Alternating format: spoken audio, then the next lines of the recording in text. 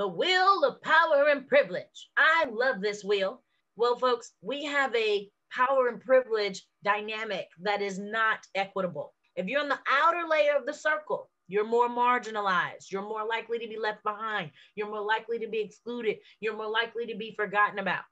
If you're closer to the center of power, you are more likely to be prioritized. You're more likely to be heard. You are more likely to get opportunities.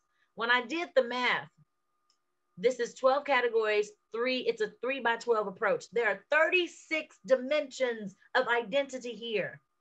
How many forms of intersectionality can we capture? It's almost overwhelming. Here's what I wanted you to know. I want to know what do you see when you look at this will of power and privilege?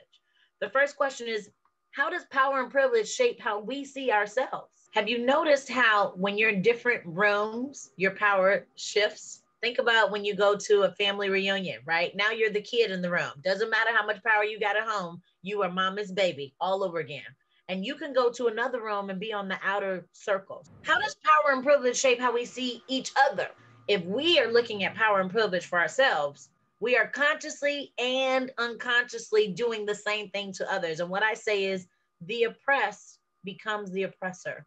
Colorism and classism we always perpetuate some form of oppression. I just wanted you all to see it. How does power and privilege create inequality in the workplace? We start to internalize the perception.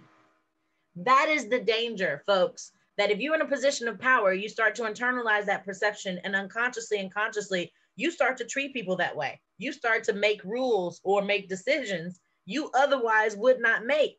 If you're a part of the marginalized community, you are almost afraid to even speak up for your own self respect because if the system has not demonstrated equity and equality, then why would I think speaking up would be safe?